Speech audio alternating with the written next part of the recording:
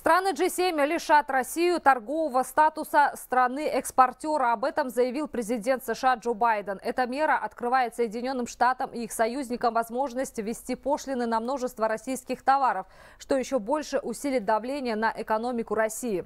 Штаты собираются запретить импорт производимых в России предметов роскоши, алмазов, дорогой водки и морепродуктов, включая икру. По словам Байдена, этот шаг нанесет Кремлю еще один удар. Джо Байден назвал Владимира Путина агрессором, добавив, что российский президент должен поплатиться за свои действия. И, как заключил американский лидер, это очередные, но далеко не последние шаги, которые предпринимаются.